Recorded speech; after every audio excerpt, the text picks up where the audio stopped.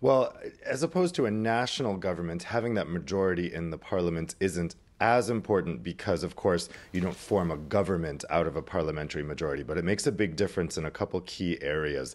One is kind of ceremonial things. Those two parties, the center left and the center right, have always divided the position of European Parliament president between them. Now that will be no more.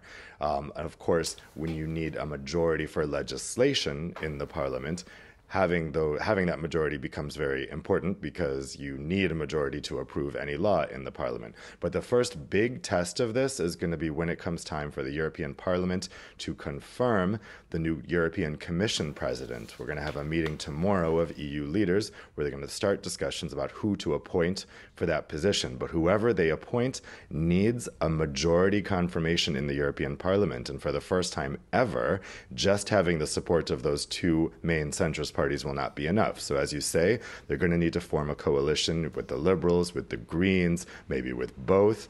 Uh, perhaps uh, there could be uh, the ECR, the Eurosceptic group, maybe they could be brought in. Uh, it's going to be some tricky coalition talks, which the European Parliament hasn't really had to do in its whole existence, because up until now, those two major groups were able to divide the spoils of elections between them in a grand coalition.